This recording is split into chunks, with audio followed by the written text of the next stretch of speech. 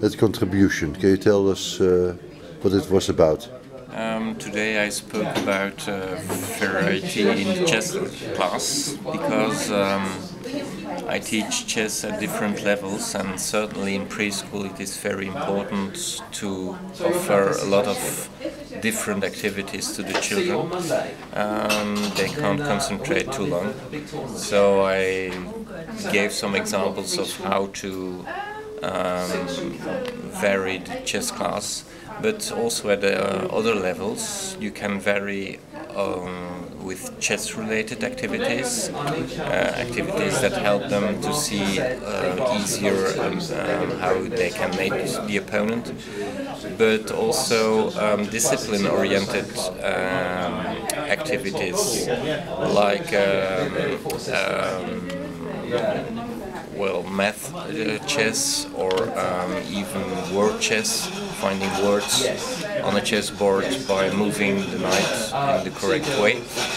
And then you have activities for the chess club where children uh, like to meet each other and where the strong players are uh, one um, on the forehand or how do you say it um, before the game. So there is an, um, a lack component um, playing a role so that even weaker players can beat uh, stronger players. And variety is important? Yes. Variety is very important in chess. Because yes. uh, otherwise you think it's dull or something?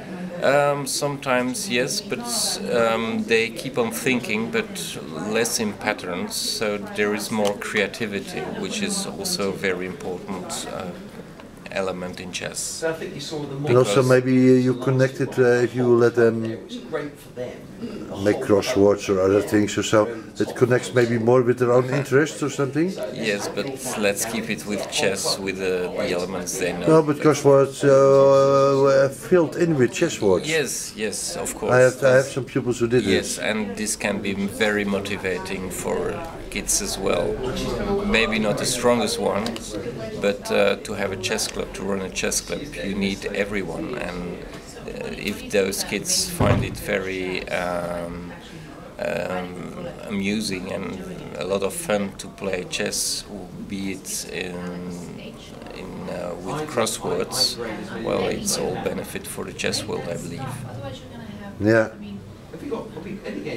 And some, um, yeah, it can also be a possibility to children want to be active, eh? young children and in the lesson. Yes, yes, and they always want to be active. And as a teacher, you have to feel if they are still concentrated on what you want to bring over, or if you have to vary and, and give new impulse to, to your chess class, to your chess lesson. But what uh, age are you talking about? Every age. But well, yeah, two years? Uh, no, I start with five years, five till 18.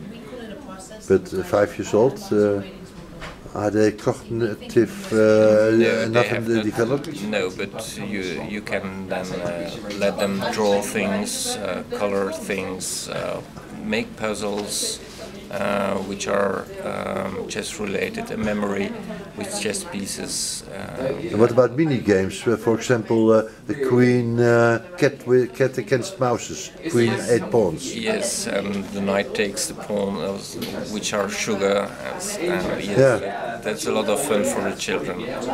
so I think they need such experiences. Yes, they can more easily win because even if um, they play not the best moves, their opponent is maybe not um, able to find the best moves neither. So yeah. it's more um, balanced as a game.